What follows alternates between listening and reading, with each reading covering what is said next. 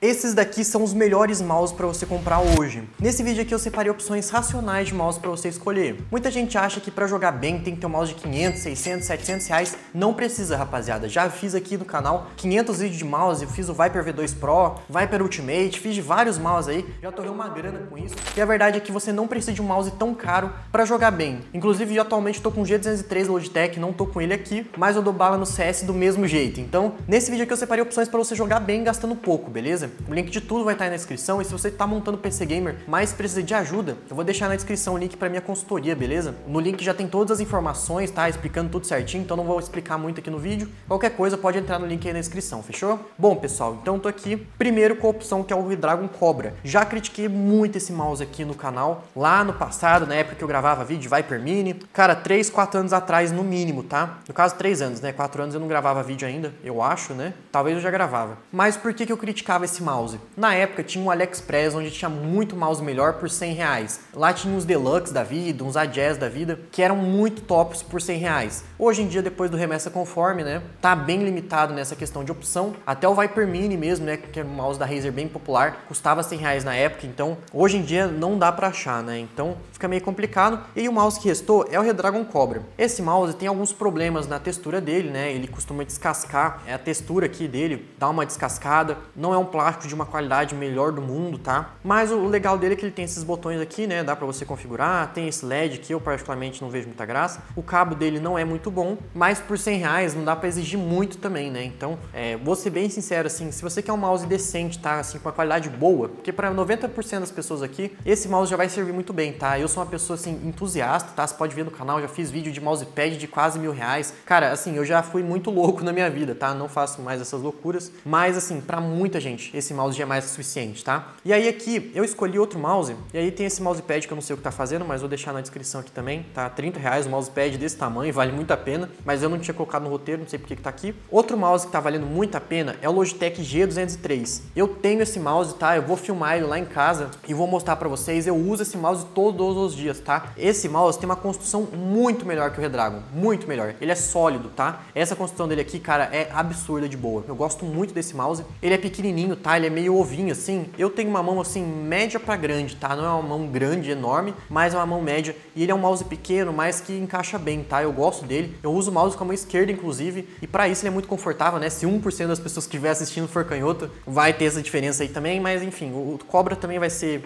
interessante nesse quesito, né? Esse shape assim, pelo menos para mim que uso com a mão esquerda, não faz diferença nenhuma, tá? Não sendo um trolhão para direita, assim, tá tá de boa, eu consigo usar normal, mas mesmo assim eu acho o conforto dele muito bom. Ele tem esse LED aqui para quem curte, né? Mas os produtos da Logitech assim tem uma qualidade muito top, tá? O maior problema que eu diria talvez seria o peso, que ele é um mouse um pouquinho pesado, ele deve pesar uns 80 gramas, que para um mouse pequeno assim é, é bastante, né? Com essa moda de mouse ultra leves. Eu particularmente não vejo problema, tá? Eu acho ele até levinho assim, não é ultra leve, mas ele é meio levinho assim. Deixa eu até ver se tem o peso dele aqui, 85 gramas, né? Então é um mouse relativamente leve, mas não tanto, né? O maior problema dele seria o cabo, tá? É um cabo assim que não tem um revestimento, tá? Ele é de plástico assim, mas ele é bem fininho, então não incomoda muito, né? Que nem mouse com fio costuma incomodar um pouco o cabo, né? Se o cabo for muito grosso, muito pesado. Esse é um cabo extremamente leve, então, na minha opinião, vale muito a pena. Mas se você não gosta de cabo, aí tem a versão G305, que é praticamente a mesma coisa. Eu já tive dois desses na minha vida, gosto demais desse mouse, tô até pensando em comprar outro pra mim, porque, cara, ele é a pilha, tá? Muita gente não gosta disso, mas a pilha dele, se você, dependendo do seu uso, ele dura mais de um ano, literalmente. Então, cara, absurdo esse mouse, assim, de verdade. Ele é, ele é caro desde que eu me conheço por gente, tá? Ele já era 200 reais, 250, desde 2019, 2020. Ele não caiu o preço, apesar do, de 250 reais não ser a mesma coisa que antes, né?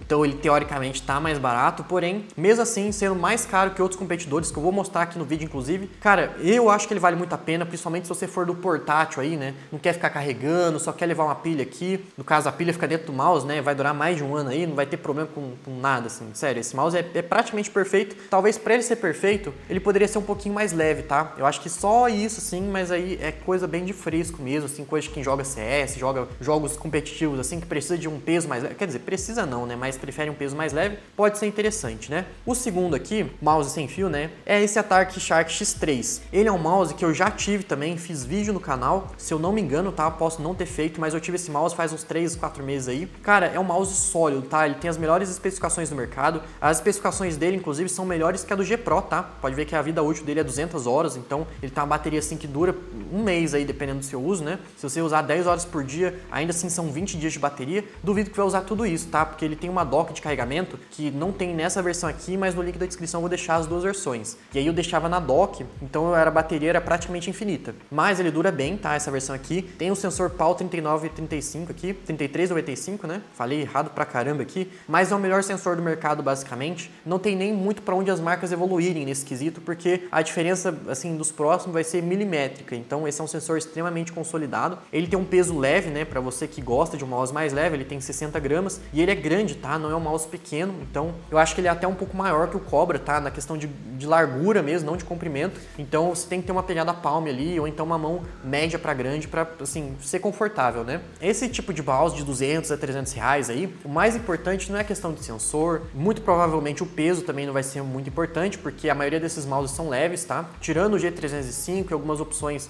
que tem aqui no Brasil, mas os mouses da China, a maioria vão ser leves. Então, geralmente o mais importante é a questão do shape mesmo, o formato do mouse, porque nada adianta ter um mouse mais pica do mundo, mas ele não é confortável na sua mão. Você tem que pegar torto, pegar estranho nele, não vai ser confortável, você não vai conseguir se acostumar com o mouse e consequentemente você vai desempenhar mal nos jogos, né? Porque um mouse desse daqui você está comprando para jogar, né? Então, tem que casar bem aí com a sua mão. Tá aqui no Mercado Livre sem juros, inclusive, no AliExpress deve ter alguns até um pouco mais baratos e com parcelamento sem juros também, que eles costumam fazer. Então, vou deixar o link mais barato na descrição, né? Quando eu estiver revisando a descrição do comentário aí, a descrição do vídeo, desculpa, eu vou adicionar os mais baratos, tá? Eu tô mostrando aqui, mas sempre quando eu vou postar, eu reviso e troco os links para os mais baratos, fechou? E eu mostrei aqui a opção por 300 reais do mouse mais top sem fio. Mas tem um aqui que eu achei, acabei de achar inclusive, que ele é mais barato, tem algumas especificações até um pouco melhores em alguns quesitos, custando menos, tá? Então vou mostrar aqui para vocês. Esse daqui é o Deluxe M600 Wireless, tá? É uma versão um pouco mais nova aí, um mouse mais recente que lançou, porque eu não conhecia esse mouse. Ele tem, rapaziada, o sensor PWM3325.